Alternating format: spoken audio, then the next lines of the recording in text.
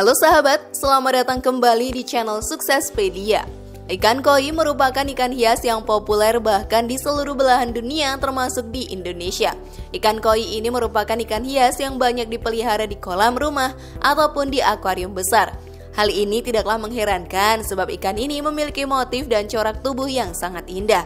Ikan hias ini juga tidak lepas loh dengan kepercayaan bahwa dapat membawa keberuntungan. Lalu benarkah itu?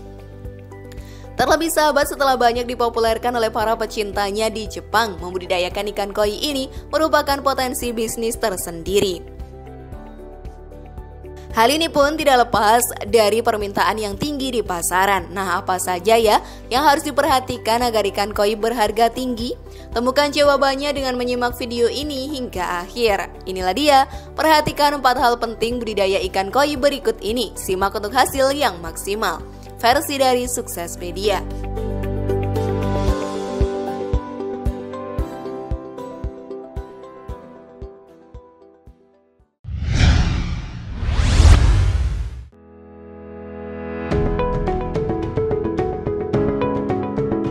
Perhatikan pemilihan indukan yang berkualitas. Hal pertama sahabat yang harus diperhatikan adalah memilih indukan koi yang berkualitas. Perlu diketahui ya, bahwa indukan ikan koi yang baik akan menghasilkan keturunan yang baik pula. Selain memilih ikan koi yang memiliki motif dan corak warna yang bagus, juga pilihlah indukan yang sehat. Hal ini akan mempengaruhi keturunan ikan yang sehat, sehingga berpengaruh pada tingkat mortalitas bibit ikan yang ditebar. Bagi kamu yang baru memulai budidaya ikan koi, sebaiknya banyak sharing dengan para pecinta ikan koi untuk dapat memilih indukan yang berkualitas. Begitupun dengan bagaimana cara merawat dan pemeliharaan kolam indukan. Memang bagaimana sih caranya membedakan ikan koi yang sehat dan yang tidak? Ikan koi sahabat yang sehat harus memiliki beberapa ciri-ciri, yaitu yang pertama umurnya sudah mencapai lebih dari 2 tahun. Jenis ikan yang dipelihara sama atau mendekati, misalkan kohaku dengan kohaku. Indukan ini juga harus memiliki bentuk tubuh ideal dan memiliki lekukan yang apabila dilihat dari atas mirip dengan torpedo. Untuk sifatnya harus diperhatikan juga nih sahabat, indukan koi yang bagus biasanya memiliki gaya berenang yang cukup tenang dan seimbang. Jadi tidak terlalu lambat dan tidak terlalu cepat. Memiliki warna yang cemerlang dan kontras dan gerakannya gesit atau tidak banyak diam di dasar kolam. Nah yang paling penting nih, indukan jantan dan betina telah sama-sama matang untuk dikawinkan. Namun sebelum video semakin berlanjut, klik dulu tombol loncengnya ya biar kalian gak ketinggalan info baru dari channel ini.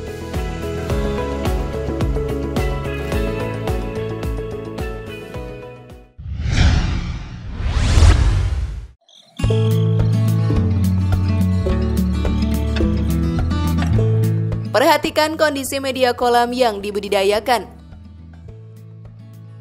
Budidaya ternak ikan koi sahabat atau budidaya ikan apa pun tentu tidak akan bisa berjalan tanpa adanya kolam yang dapat menampung ikan-ikan tersebut. Ada berbagai jenis kolam ikan yang bisa kamu gunakan loh, seperti misalnya kolam tanah, kolam terpal, kolam beton, dan masih banyak lagi.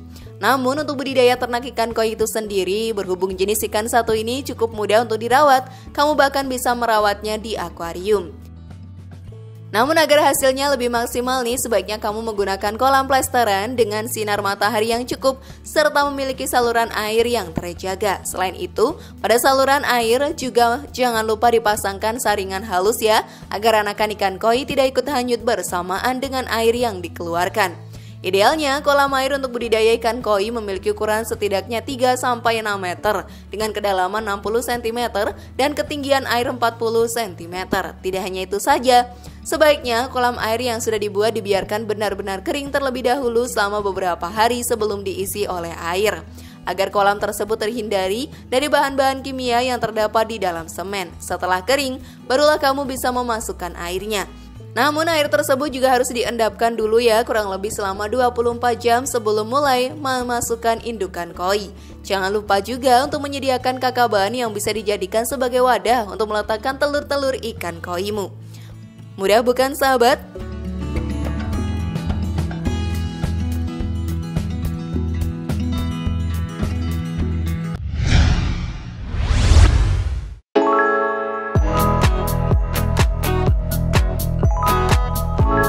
Menjaga kondisi air kolam Ketika melakukan budidaya ternak ikan koi, jagalah kondisi kolam tetap bersih agar ikan koi yang kamu pelihara tetap sehat. Selain itu, jangan lupa juga untuk selalu memperhatikan suhu dan tingkat kekeruhannya. Jangan sampai air ikan koi menjadi keruh karena hal tersebut akan membuat ikan koi menjadi tidak sehat. Walaupun sudah menggunakan filter pada kolam ikan koi ini, tidak menutup kemungkinan loh kolam menjadi keruh karena kotoran yang dikeluarkan oleh para ikan-ikan koi tersebut. Maka dari itu, untuk menjaga kualitas air di dalam kondisi yang baik ada baiknya untuk mengganti air kolam sekitar 10% setidaknya seminggu sekali. Jangan pernah mengganti air kolam secara keseluruhan ya karena ikan akan membutuhkan waktu untuk beradaptasi.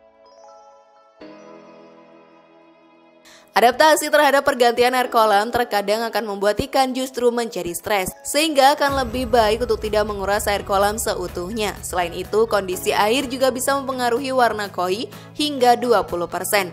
Perlu diingat sahabat bahwa warna ikan koi bisa mempengaruhi kualitas dan harga pasaran dari ikan tersebut.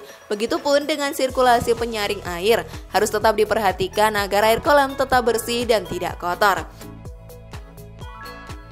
Bersihkan juga air kolam beserta dinding kolamnya secara rutin ya. Jangan lupa juga untuk mengatur suhu air kolam. Selain menjaga kebersihan air kolam dan suhu, penting juga loh untuk menjaga tingkat keasaman air kolamnya.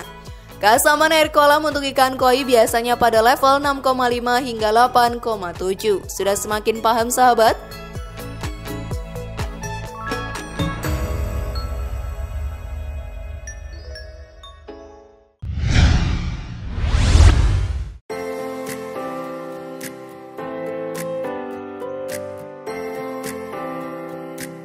Telitilah kondisi pakan ikan koi. Sebagai peternak, kita harus memperhatikan jenis pakan koi yang diberikan untuk membantu supaya ikan koi dapat tumbuh besar dan maksimal. Tentunya, hal ini adalah salah satu hal yang paling penting. Oleh sebab itu, sebagai peternak ikan koi, ada baiknya memahami apa saja makanan ikan koi terbaik yang dapat diberikan selama membudidayakan berbagai jenis ikan koi. Untuk lebih Jelasnya, sebaiknya simak berikut beberapa informasi yang sesuai tentang pakan ikan koi berkualitas yang cocok diberikan untuk memperoleh pertumbuhan yang maksimal. Seringkali sahabat, sebagai pemula agak kesulitan ya untuk mengetahui apa saja sih jenis makanan ikan koi terbaik yang bisa diberikan untuk menunjang pertumbuhan ikan koi. Oleh sebab itu, sangat penting mengetahui pakan ikan koi agar cepat besar dan yang paling tepat. Untuk lebih jelasnya, berikut ini beberapa jenis makanan ikan koi yang dapat diberikan. Salah satu jenis pakan ikan koi yaitu pakan alami yang umumnya berupa cacing atau udang. Pakan tersebut cukup mudah untuk didapatkan secara langsung loh, oleh sebab itu tidak usah mencarinya. Selain itu, pakan koi agar cepat besar yang alami berikutnya adalah cacing atau ulat. Pakan yang satu ini sahabat mengandung protein tinggi supaya ikan koi dapat tumbuh lebih maksimal. Makanan untuk ikan koi yang terbaik yang alami berikutnya yaitu buah serta sayuran. Untuk itu dapat diberikan jeruk atau semangka untuk memaksimalkan pertumbuhan ikan koimu. Selain pakan alami, ada juga pakan buatan ya yang umumnya dapat dibeli di berbagai toko. Biasanya sahabat merek pakan koi terbaik buatan ini diproses oleh pabrik dan cukup praktis diberikan kepada ikan koi. Namun demikian, memang pakan buatan tidak sebaik pakan alami yang jauh lebih segar dan kaya akan kandungan gizi. Tak heran jika lebih banyak yang memilih memberikan pakan buatan untuk ikan koi yang dipelihara. Hal lain yang tidak kalah penting yaitu cara memberi makan ikan koi menggunakan merek pakan koi terbaik. Karena cara memberi pakan juga merupakan salah satu langkah dan upaya untuk memaksimalkan pertumbuhan ikan koi loh. Oleh sebab itu sahabat perhatikan beberapa info berikut ya. Jumlah pakan yang baik untuk ikan koi besar yaitu 2% dan ikan koi kecil yaitu 5%. Usahakan supaya jumlah pakan yang diberikan tidak terlalu banyak dan mencukupi. Pastikan pakan yang diberikan sahabat segera dikonsumsi oleh ikan koi dalam waktu kurang dari 5 menit. Sebaiknya berikan pakan ikan koi yang kaya akan kandungan protein, karbohidrat, lemak, vitamin, dan mineral seperti yang telah disebutkan sebelumnya. Usahakan memberi pakan yang tepat untuk menghindari ikan koi terlalu banyak buang kotoran dan menimbulkan air yang mudah keruh. Nah sahabat sebaiknya berikan juga pakan yang mengandung serat secara rutin pada ikan koi agar pertumbuhannya semakin maksimal.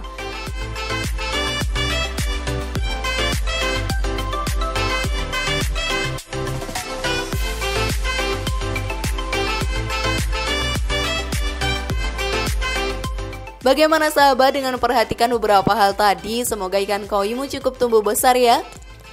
Apakah cara tadi cukup mudah? Share pendapat menarik kalian di kolom komentar ya. Semoga informasi tadi bermanfaat. Terima kasih sudah menyaksikan channel kami. Mari membangun channel Suksespedia dengan cara klik tombol subscribe, like, share, dan aktifkan tombol loncengnya. Sampai jumpa di video berikutnya dan jangan lupa tonton video yang lainnya.